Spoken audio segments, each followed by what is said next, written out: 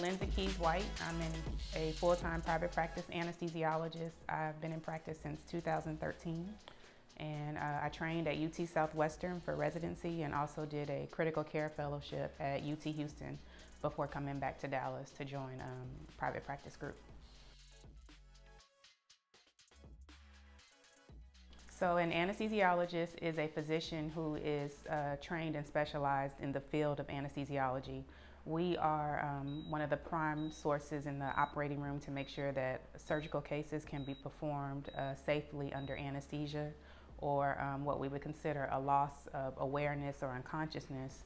Um, and we also maintain that state of unconsciousness and allow surgeons to operate. We allow GI procedures to be done like colonoscopies or endoscopies, or if you're having a procedure with interventional radiology, like say, um, a embolization for um, fibroids or having to have catheters placed or um, procedures done along your spine, we help keep patients asleep and safe.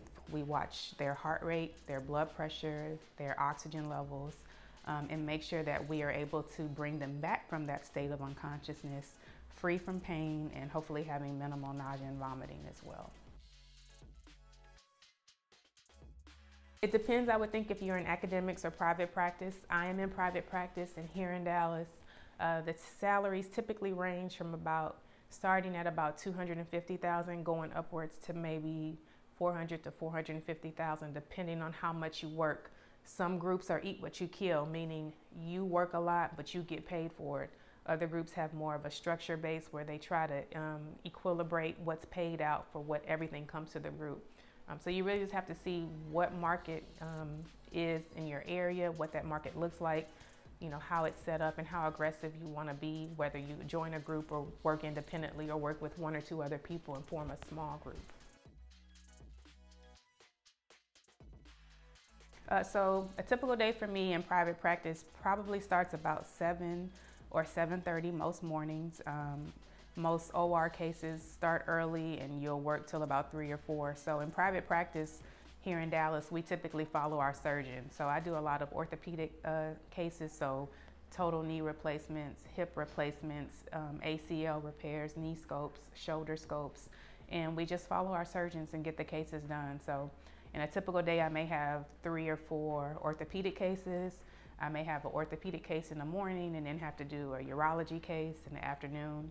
Um, but in each case, I'm in the OR with the patient from start to finish, monitoring uh, their heart rate, their blood pressure, their oxygen levels, keeping them safe while the surgery is being done. And then at the end of surgery, wake them up and get them to the recovery room so that the recovery room nurses can take over their care for the, uh, for the patients. And in that day, I may do some nerve blocks, um, which is anesthetizing parts of the body. I may do um, some spinals where we, or epidurals where we give injections into the back to help with pain control. Um, and it's a really hands-on procedure-based uh, specialty. So lots of use of your hands with intubations, arterial lines, central lines, and uh, nerve blocks. But each day is a new day.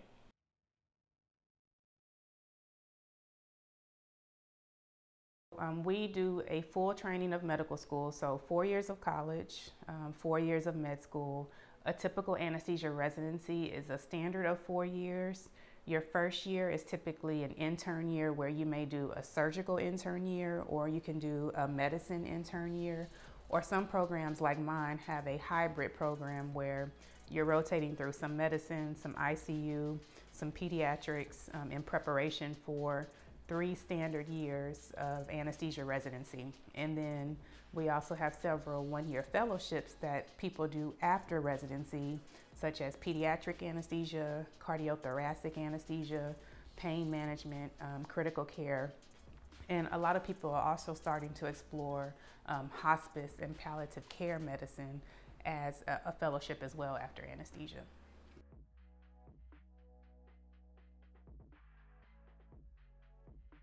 Um, so initially in med school, I really thought I wanted to be um, in obstetrics and I rotated through obstetrics late in third year because everyone says, oh, do the specialty that you think you're interested in toward the end of the year so you've kind of built up your skills. And I enjoyed uh, being in the operating room, but I didn't enjoy labor and delivery and delivering babies. But I did enjoy the camaraderie in the OR. Um, and anesthesia is very fast paced, so we see results instantaneously. Um, but you really have to have a good source of physiology and pharmacology and to be able to use your drugs really quickly. So it fits my personality. Um, I'm very hands on. Uh, I can be very serious and direct very quickly, but I also know when to scale back. And that's really what a great anesthesiologist does. You know when something is acute and serious, and you also know when things are well and you can kind of scale back and fall back. I kind of say in anesthesia, we're like Keyser Söze from Usual Suspects. Nobody knows who Keyser Söze is, but they know he's important. The anesthesiologist is very important in the OR, but nobody should really know what we do because everything is going smoothly.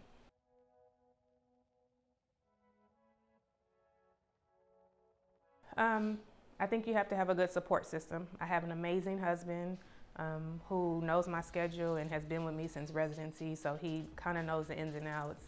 I have a great mother-in-law. I have my dad, my mom, and everybody really just knows that my schedule is variable.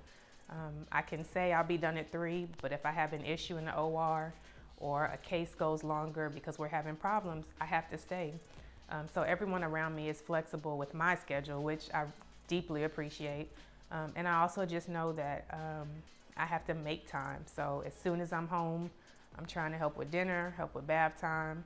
I try to schedule date nights with my husband where I, he and I can have time just to kind of reconnect. So you have to be intentional with your time. But as an anesthesiologist, we are very pressed on time because we want to start cases on time, we want to end cases on time, and we want to make sure things go well. So that kind of carries over into your personal life with trying to schedule and just make sure that you plan out your month or plan out your week ahead of time so you kind of know what to expect, but also be prepared for the unexpected.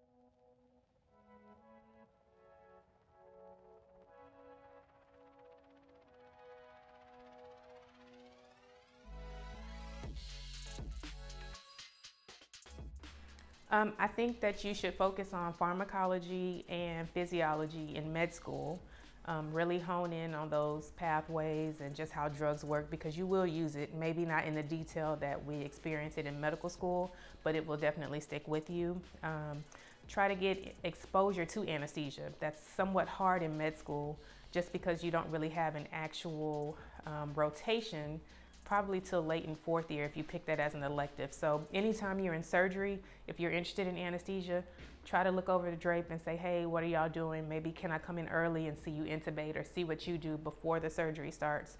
Um, if you're on OB, look and see what's going on during the C-section, what's going on when the spinal's being placed or the epidural's being placed. Um, you really have to seek it out in med school. So if you think you have an interest, maybe that first or second year, if you can on a Saturday or a Sunday, just pop in and ask some of the residents, hey, can I see what you're doing on a day or can I see what it looks like when you're on call and what type of cases you're doing to kind of get that knowledge.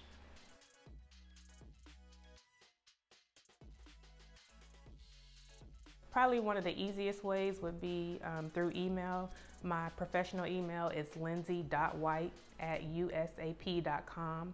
That's L-I-N-D-S-E-Y dot W-H-I-T-E at usap.com. Um, I'm also on Instagram, um, a book reviewer, but you can find me at DRLITRX. Um, that's for following me. Um, and then just reach out by email and I'll definitely respond back and kind of go from there. My name is uh, Lindsey Keys White. I am Dr. White. I'm a full-time anesthesiologist in private practice in Dallas, Texas, and I love what I do.